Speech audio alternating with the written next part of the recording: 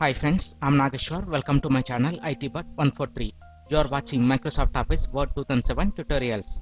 In this tutorial, I will show you how to disable or turn off and enable automatic hyperlinking in our Word documents.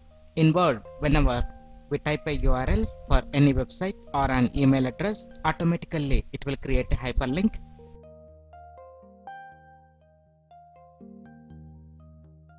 Further, if it is inconvenient for you in preparing a Word document, we can turn off or disable automatic hyperlinking.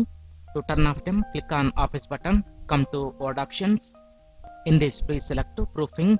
On the left side pop-up window, come to Autocorrect options, click on this. Then it will open Autocorrect dialog box. In this, come to Auto Format as you type. In Replace as you type options, please uncheck internet and network paths with hyperlinks and click on OK. OK. Notice that it will not remove hyperlinks from the old one, but when we enter new URL,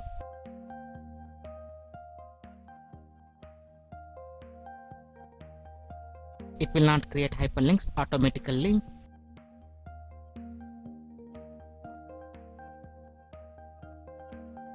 Again, to enable this, come to office button click on word options select to proofing click on autocorrect options.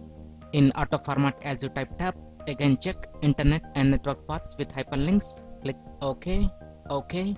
Again let's type the url